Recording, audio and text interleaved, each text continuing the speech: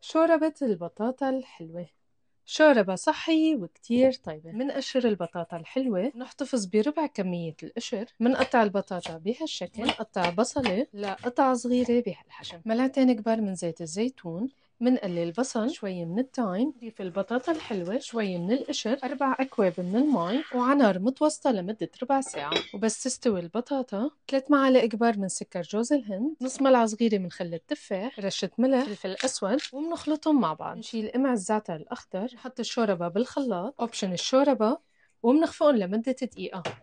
وهيدي الشوربة صارت جاهزة. رشة فلفل أسود رشة بقدونس للزينة وشوي من كريمة جوزة الهند. وهيك شوربة البطاطا